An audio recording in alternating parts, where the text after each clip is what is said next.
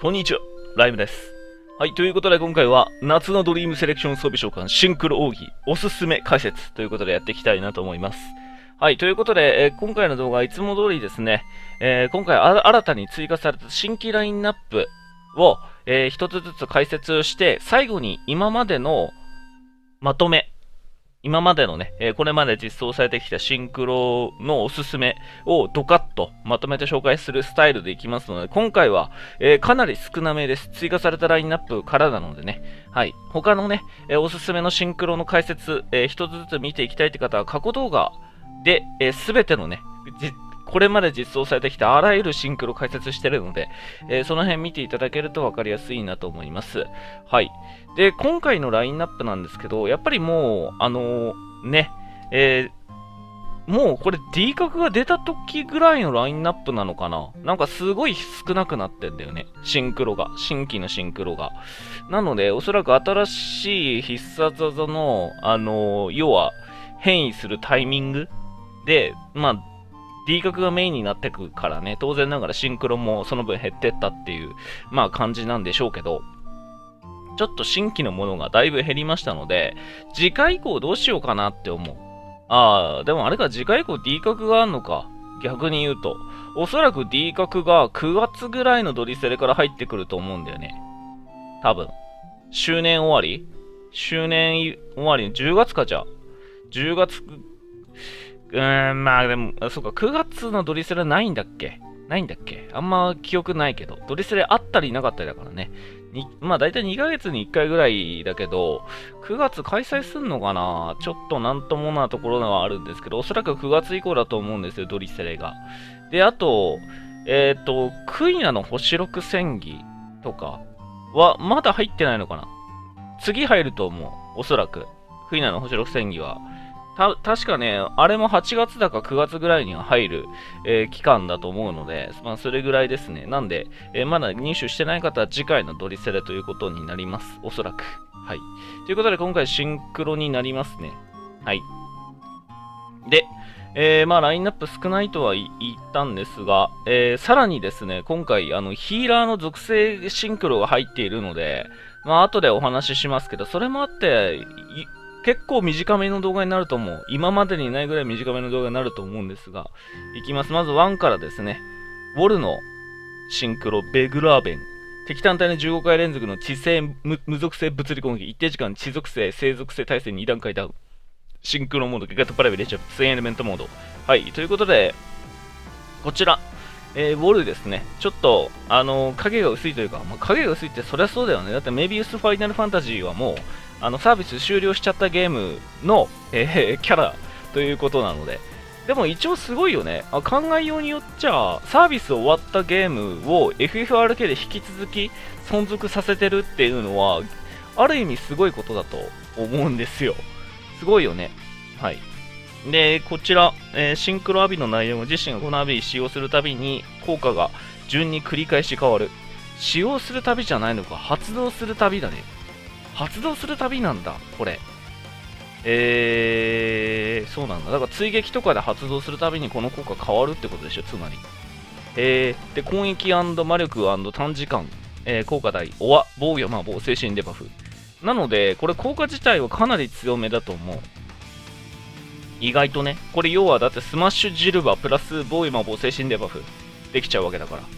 かなり強いよね。内容だけ見るとね、攻撃しつつ。で、右指がですね、敵単体に地属性、生属性、無属性物理攻撃、自身の待機時間3ターン短縮、知性、アビ、3ターンアップ中ということで、まあ、最初にあ右指から打ってあげれば、以降のね、3ターンは火力が持続してくれるよという内容になっております。で、まあ、ウォルのね、注目すべき点は、まあ、もちろんこの左指結構強めだなっていうところはあるんだけど、専用アビリティね、専用アビリティで地属性と生属性の確定デバフができるっていう点もポイントだと思うんですよね。二属性のデバフで、生属性キャラ、ね、タクティクスが、もうこの間の生放送でも、まあほとんどね、その、要はタクティクスの監修チームが動けない状況ですよと、忙しすぎてね。っていう状況の中、生属性物理がだいぶいないわけですよ。で、デバッファーとしても昔であればアグリアス、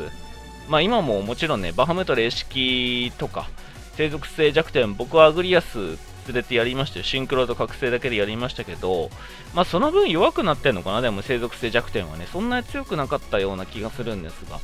うん。なので、別にアグリアスじゃないといけないっていうわけではないんですけど、一応今回の、その、要は、アグリアスが今後出ないってことを考えると、後継者誰になるって言ったら、まあ、生属性物理のデバフって言ったら、まあ、ウォルとかに、まあ、なる、順当にいけばウォルとかになるんじゃないかなっていう感じがするんで、まあ、また今後ね、違うキャラで、その生属性物理の確定デバフ、持った1000アビリティ持ったキャラが出てくるかもしれませんけど、そうなんだよね。タクティクス出さないと、出さないのであれば、運営さんもそういうキャラを別に用意してくれればいいのにっていう感じするんだけど、まあでも、これはもうタクティクスが、その、出なかった時以降だと思うんだよね。このウォルが実装されたのって。ウォルが実装っていうか、ウォルのこのシンクロとか D 角とか、センアビが実装されたのって多分、多分このタイミングだよね、おそらくね。だったと、だと思うので、きっと。それを考えると、運営的にも、あのー、なんだろうな、アグリアスの後任はウォルで考えてたのかもしれないけどね。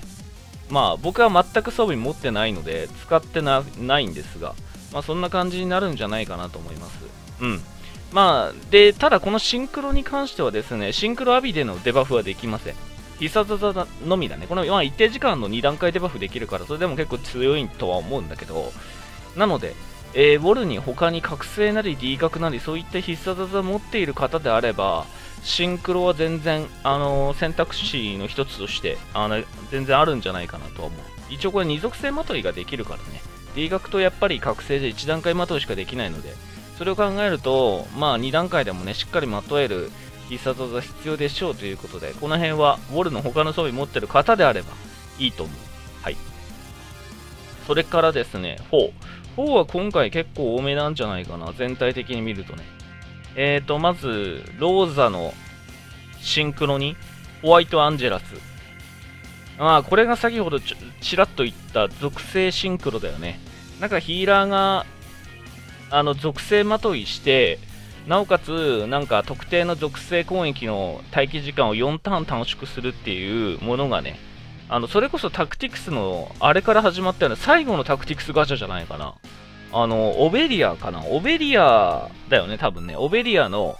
あれが最後だったのか。オベリアのシンクロで生属性の攻撃の待機時間4ターン短縮っていうものが出たんですけど、あれと一緒だね。たまたま。このローザとオベリアがね。生属性の4ターン短縮っていうことなんですが、これの利点って一体何なのっていうと、まあその、今、今までのね、他のキャラではあのない4ターン短縮っていう部分と、それから敵単体に99,099のダメージを与える白魔法攻撃っていうね、追撃が出せるっていう。まあ、とはいえ、これ、99,999と書いてあるけど、これもちろん固定ダメージじゃないからね。もちろんのこと。もちろんこれダメージ軽減のあの影響を受けるので、実際に超高難度で使ったと、使ったとて、多分ダメージ2万ぐらいになるんじゃない？多分もしくはそれ以下か。になっちゃうと思う。1万6000とかね。ぐらいには、あの、なりそうな気がするので、軽減率えぐいからね、最近の高難度はね。なんで、えー、これカタログスペックよりだいぶ弱いと思うので、その辺はよく考えてって感じなんだよね。だから要は、標識割るぐらいの追撃にしかなんないよっていうことです。なので、これを考えると、別になんだろうな、要は待機時間短縮して追撃でなんか標識1個割れるよぐらいなものなので、あの、繰りだめアップとかできるね、うららとか、ラーサーとかね、そういうなんか他にも付加価値あるようなキャラと比べるとだいぶ微妙だよねっていう、このシンクロ。このシンクロのためだけに、うららと、そのラーサーとかの繰りだめアップをの、あの、ないがしろにするほどかって言われると、別にだよね。いらんよね。それだったら、あの、普通の、普通の他のヒーラー以外の他のアタッカーの火力をね、繰りだめアップして、上げてあげて、アタッカー自身で標識割ればいいじゃんっていう 割れるようにした方がいいじゃんっていうね。シンプルにそうなっちゃうから、これの存在価値が正直ないんですよ、別に。特に。ないんだよね。しかもこれ一応シンクロなのに、これ1段階まといでしかないんですよね。なので、まあ最近なんかキャラによってはさ、あの、まとい属性の人数、人数に応じて追加効果とか、人数に応じてなんちゃらみたいな効果があったりするから、まあ、それを鑑みてだと思うんですよ、この生属性まといって。なんだけど、まあ、それこそ、1段階まといしかできないんだから、これフェーズ2とかさ、フェーズ3またいだ時点でもう、属性剥がしで一発で終わりだからね。で、他にヒーラーって属性まといの手段ないんだから。ここはせめて3段階まといでよくねとか思うんだけど、まあ、これも考えてもね、あの、このシンクロわざわざ、なんだろう、ああ、もちろんその、なんだろうな、そのシリーズとかね、シリーズパにおいてはかなり強いと思う。FF4 についても生属性縛りできるから、聖セシルもね、筆頭にね、風数やだってデバデバファーとしているし、あと、セオドアだったりとかね、まあそういった、あとリディアか、とかもいるんで、生属性で縛ることは全然できるから、FF4 シリーズで使えばかなり強めのシンクロになるだろうけどね。だろうけど、わざわざこれ使う必要も特にないっていう、必須性っていうか優先度はないから別に。あの、僕の攻略動画が、ゼロムスの攻略動画とかでも、あの、実際皆さん見てほしいんですけど、別に、あの、なんだっけ、超絶と覚醒か。超絶覚醒か。でも最悪別に覚醒もなくてもいけたと思うので、超絶と、あとモグかな、僕入れたので、モグと、あの、超絶だけで多分、まあ、全然間に合うと思うの、回復は。ってなると、存在意義がますますないよねっていう あまあ、本当に、なんだろう、どうしても回復間に合わないとかさ、あの、生属性縛りでやりたいって人向けかな？なんで、優先度はかなり落ちると思う。この属性系のね、ヒーラーのやつは。全部、全部言える、これ。全部一緒。なので、えー、今回、この属性系のヒーラーのシンクロいっぱい入ってるんですけど、ローザしか解説しませんね、これは。うん、全部一緒です、感想は。どの属性においてもどのキャラにおいても一緒なので輝く時が来るとすればシリーズのその属性縛りでやった時だけかな。うん。物理であればさっき言ったクリダメアップのねキャラ優先するだろうし魔法パであればモグとかケットシー優先するしっていうところになっちゃうからどうしても。ちょっと使いにくい。使いうんまあうんはい。であとリディアいきます。リディアの第2ちょっとこれ言い方むずいんだけど水の第2シンクロって言えばいいな。水属性の第2シンクロ。シンクロ全体で見れば第4シンクロだね、これね。はい。うん、そんな第4シンクロですが、これがね、めちゃめちゃ強いんですよ。これが。この水の第2シンクロが。第1シンクロが、あのどちらかというとね、防御寄りのシンクロだったので、ちょっと水弱いねっていう感じだったんだよ、リリア自体がね。その水運用の時はね、あんま強くないかなみたいな感じだったんだけど、このシンクロが出たおかげで、あのー、またね、水属性キャラとして復権したという感じが結構イメージとして強いかな。これめちゃめちゃ強いね。あの、シンクロアビー1が敵単体で弱点微弱をつくと威力が上がる6回連続の消化魔法攻撃、プラス自身の水属性アビーのダメージ1タンプ中っていうね。一応バフみたいなもの。まあこれ威力が上がるっていうのは、このアビのね、倍率が上が上がるっていうものなんで、厳密にバフって言われるかは謎だけど、まあ、まあ、要は、まあ、倍率が上がりつつ、さらに水くさびのダメージ一旦アップということがあるので、2種類のね、えー、バフで火力がすごく、まあ、上がってくれる。もともとシンクラービーってそんなに専用アビーと比べると火力がなかったりっていう問題はあったんですけど、一応これでカバーしつつ、で、さらに、これも専用アビにもちろんね、このダメージアップは乗っかってくるんで、まあ、めちゃめちゃ強いぞということです。で、右アビに関しては、これはあんまり使う機会ないかもしれないけど、限界突破攻撃、それから召喚アビの待機時間2ターン短縮する、どちらかのアビの使用回数2回復。まあ、召喚魔法はね、あの使用回数が少ないっていうデメリットがあるんで、これでカバーということでしょう。で、それからこの限界からの干渉というものがあります。これ3回までだね。3回まで屈撃が出るよっていう内容で、限界突破の初夏魔法攻撃で3回目の待機時間一旦なし、水属性のダメージ一旦アップ、大であのこの異なる時の流れモード解除ということで、3発目の4発目か、4ターン目の一撃の火力がめちゃくちゃ高いので、ここにあの全てを集中して、えー、なんかいいタイミングで打ってあげると、まあ、グッドだよっていうことです。はい。めちゃめちゃ強いです、これは。特に D 角と併用した時に、D 角と併用時は本当に火力の鬼なので、速さの速さの、えっ、ー、と、メイヤ、火力のリディアっていう感じかな。水属性の魔法パで言うとね。もちろん天命のね、あの、謎の少女難易度700でも大活躍できますので、持ってる方はね、ぜひね、あ D 角とかすでに持ってる方、お持ちで方であれば、これは優先的に、まあ、取るべきシンクロなんじゃないかなとは思います。あと、水属性弱点、単純に困ってる人はね。はい。えーと、それからシド、シドのやつ、シドの4。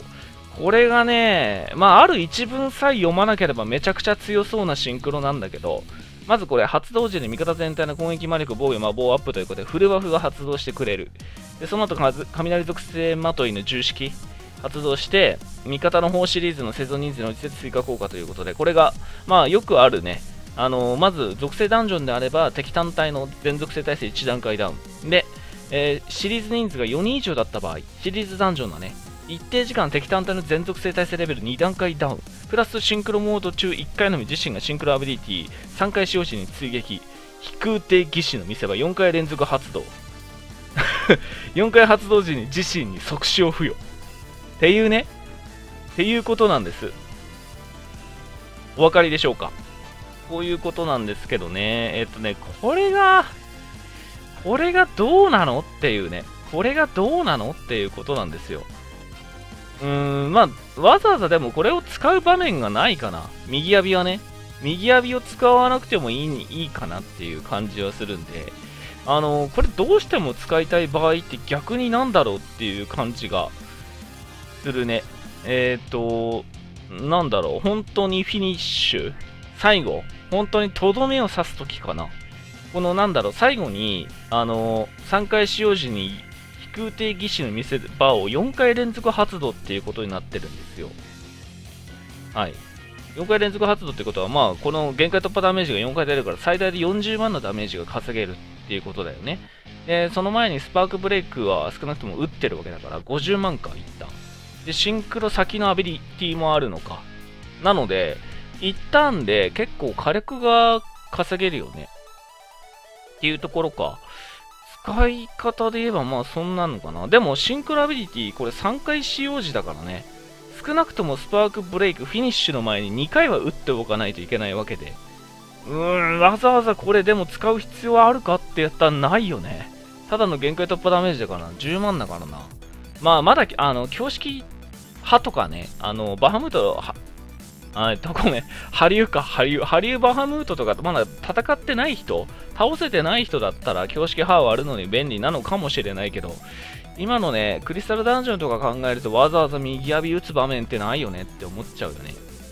はい。で、左指が、これ結構優秀だと思うね。確定デバフ、雷属性の確定デバフができるんで、これ優秀かな？ただ、ここだけ考えれば、まあ結構優秀なのか。うーん、そうだね。だから、まあ、何も考えずに右指使っちゃうとちょっとあれだけど、単純にもう右指をないものとして考えて、左指連打だけしておけば結構、それだけで結構強いんじゃないかなって思うよね。何気に雷属性の確定デバフできるキャラって、プロンプトとかね、あとシェルクとかもできないので、千指とかでは持ってないので、それを考えると、ね、まあ割と優秀なんじゃないかなっていう気がします。もちろん、あの、指導自体もね、あの、気候しえー、アビ、もちろん使えるので、そういったプラズマオファとか持たせることもできるからね。こんな感じですね。はい。まあ、えー、まあ、でも指導、他の装備持ってる人どれぐらいいるかっていう感じはあるけどね。皆さんの装備次第、あと雷属性キャラ次第って感じかな。はい。えーと、それからゴルベーザの第2、第2シンクロ、第2シンクロ。これがですね、これ僕も結構使ってて、これ結構好きですね、僕はね。個人的には結構推してるんですけど、これ、えっ、ー、と、シンクラビが優秀だね。さっきの、あの、シドのね、雷、雷でしたけど、闇バージョン、全く一緒。闇バージョン。ってことになってて、敵単体6回連続の闇無属性魔法攻撃、短時間闇属性耐性1段階ダウン。で、右指が待機なしで、自身が時短闇属性アビ使用時にもう一回放つ闇属性アビのダメージ1ターンアップ大ということ。それから黒竜召喚モード。これが、えっ、ー、と、一定間隔の追撃ってやつだね。一定間隔の、ホープとかにくっついてるやつだね。3回発動時に暗黒の牙、敵単体に4回連続、それから待機時間一旦なしにして、黒竜召喚モードを解除ということになってます。まあ、これ勝手に出るんでね、タイミングとか読めません。別に。まあ、特に考える必要もないんだけど、まあ、3回追撃が出るよっていうだけの話なんで、そこまで深く考える必要はないですが、えー、まあ場面によってはね、この待機なしを利用して、まあ、新容疑をぶちかますなり、他の必殺技を打つなりっていうパターンも全然考えられると思うんで、その辺皆さんの立ち回り次第ですが、まあ、単純にこのゴルベーザは、あの闇属性のチェインもできるんでね、チェインしつつ、さらに闇属性デバフもできるっていう、まあチェイン、チェイン役の、まあ、理想とも言えるような形が取れるので、個人的にはすごく好きです。あの、次回来るであろうバハムート霊式の闇属性弱点でも、まあ多分ゴルベーザ連れてくんだろうなとは思ってますね。はい。まあただ、他にもね、闇属性デバフの手段はもちろんあるんで、常闇の楽印とか全然アビリティでもできるし、誰でも、言ってしまえば誰でもできるし、あと特化してるキャラで言うと、皇帝とかね、まあちょっと1000アビえー、それやっちゃうと弱め、3回攻撃なので若干火力が出ないってところあるんだけど、皇帝だったりとか、あとナバートとかね、13の。ナバートが、1000アビでデバフとかはできないんだけど、シンクロ覚醒 D 角、あらゆるところで闇属性デバフがくっついてくるキャラなので、あとは、レジマテとかでもできんのか、確か、ナバートは。なので、ナバートは本当ただ攻撃してるだけで勝手にデバフになっちゃう、デバフしてくれるみたいな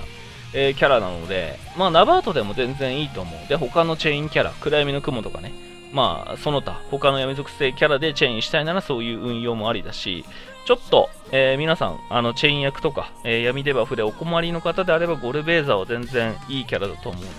持ってて損はないでしょうっていう感じです。はい。えー、まあ、方はこんな感じで、あとは、まあ、レナのね、第2シンクロ。まあ、これさっき、ローザのとこでも言いました。属性系のね、シンクロです。内容ほぼ一緒。ただ属性違いっていうだけ。なんで、まあこの辺はもうね、割愛します。正直第一シンクロでも全然いいと思う。シリーズダンジョンであればね、シリーズダンジョン正直どっちでもいい。まあ5も炎属性染めができるシリーズなので、まあ別に欲しければ、まあ狙ってもいいんじゃない僕は別にいらないと思うけど。それぐらいだね。はい。正直ヒーラーって別に高難度、クリスタルダンジョンでも、あ、今回のあの、霊式はちょっとあれだけど、うん、まあ、その他だと別にっていう感じすんだよな。覚醒で間に合っちゃうというか別に。シリーズによって超絶だけで間に合っちゃうしね。あと、モグ入れられるシリーズであれば、まあ本当に超絶だけでいいよねってなっちゃうし、ね、その辺ちょっと難しいところではありますね。はい。で、あと、パンネロか。パンネロの第2シンクロ。こちらはやっぱり、えー、まあ、バンの相方ということでしょう。風属性攻撃の待機時間短縮ということですが、FF12 はね、風属性染めできないんだよね。属性的に。なんで、本当に、バンの、バンのことしか考えてないシンクロっていうことになるんで、特にシリーズで使うこともないんじゃないか。あ、でもパンネロのやつって、確かシリーズ、対応するやつだった気がする。あ、やっぱそうだよね。味方の12シリーズの生存人数が4人以上で、味方全体の待機時間一旦短縮する。あ、ここで気遣ってる。風属性の待機時間短縮できないけど、追撃の部分で12キャラの待機時間は短縮できるんだ。そうだ。そんな文を書いてたような気がしたわ。そうなんだね。ということで、対応します。対応するわ。あと、えっ、ー、と、13のバニラの第2シンクロ。こちら地属性だね。ヘカトン系がまあ地属性だからということなんでしょうけど。えー、まあ、正直バニラだったら第1シンクロが優秀だからね、イケイケヘカトンがかなり優秀なんで、別にこっちでいいよねってなっちゃう。待機時間短縮もこのシンクロね、のクイック、待機時間なしで味方全体の待機時間一旦短縮する。しかもこれ待機時間短縮の倍率が確か3分の1なんだよね。かなり強いので、クイックが。正直こっちでいいと思う。全然。第一シンクロ使いましょうって感じ。はい。えー、で、それからアタッカーとしての最後というか、まあ、この動画の最後になるんですが、レイブスのシンクロ。まあ、これはね、いろんな動画でなんかすごい僕を推してるから、なんとなくもう皆さん強さ分かってると思い思いますし、使ってみた動画等でもね、あの散々見てきてると思うんですよ。この間もなんかの動画使ったの、クイーンかなんかの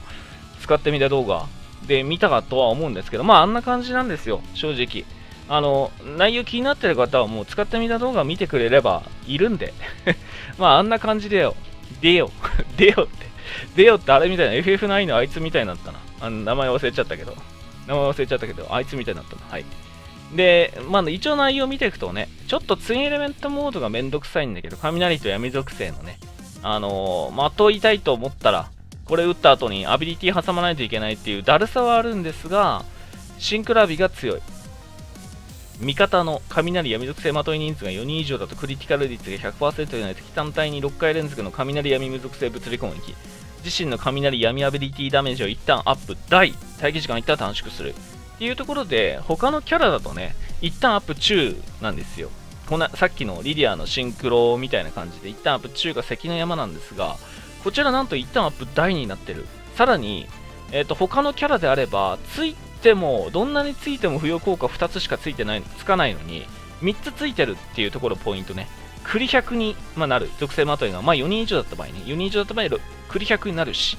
さらにアビのダメージ一旦アップ大になるしさらに待機時間一旦短縮になるしっていうね。他のキャラであればこの待機時間短縮の部分もどちらか一方だよね。バフか待機時間短縮どっちかしかつかないところが両方ともついちゃうっていうね。これやっぱり後から追加されたキャラだからみんな回さないでしょって、これぐらいしないとっていうね、配慮っていうか、まあ上の意識なんでしょうけど、これは全然いいことだと思うんですが、えー、こういったシンクロアビを持っているおかげで火力がすげえ出る、これ。カタログスペック以上に火力出るから、結構びっくりするね、これね。はい。で、あと最近、えー、レイブスのね、1000アビリティ、6回連続の1000アビリティも追加されたんで、だいぶこれが使いやすくなった。で、えーと、その6回連続の1000アビが実装される前からですね、天命魔法剣士の難易度700トライエッジでもあの活躍できます。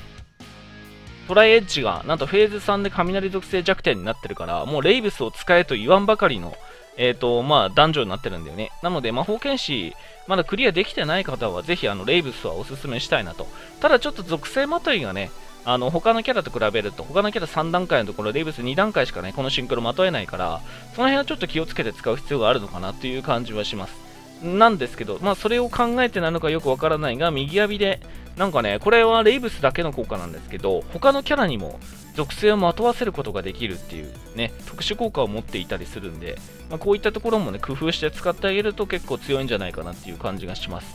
それからですね今後のバームート霊式闇属性弱点まだ実装されてません。多分来月実装されるんじゃないかなと目されるんですが、こちらでも活躍が期待できる。闇属性運用でね。僕はとりあえずレイブス使ってやってみようと思うんだけど、オートだとあんまりツイエレメントモードが相性良くないんだよね。